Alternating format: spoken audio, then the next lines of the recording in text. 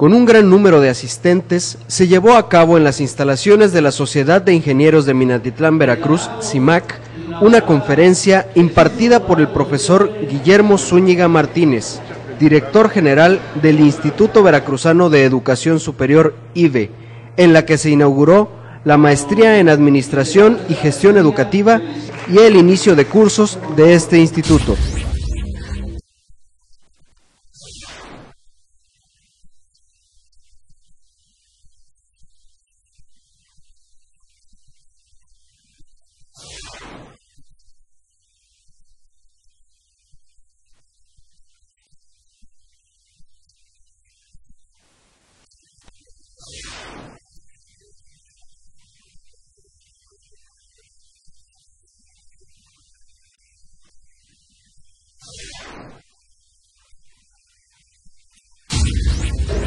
Declaramos inaugurada el ciclo escolar 2009 y la maestría en gestión y administración educativa.